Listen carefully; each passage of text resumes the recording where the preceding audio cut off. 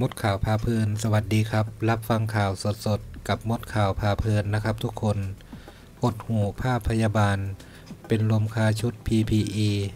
เรียกได้ว่าเป็นอีกหนึ่งภาพเหตุการณ์ที่โซเชียลเข้ามาแสดงความเห็นกันเป็นจำนวนมาก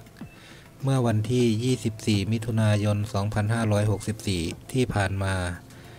ขณะที่พยาบาลจากโรงพยาบาลของท่อม และจากรอพอสอตอ ในพื้นที่อำเภอคลองท่อม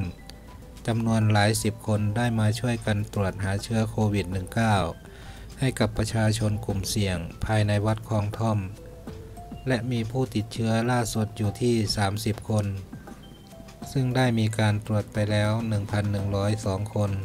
และมีตรวจในวันที่ 26 มิถุนายนอีก 1,500 คน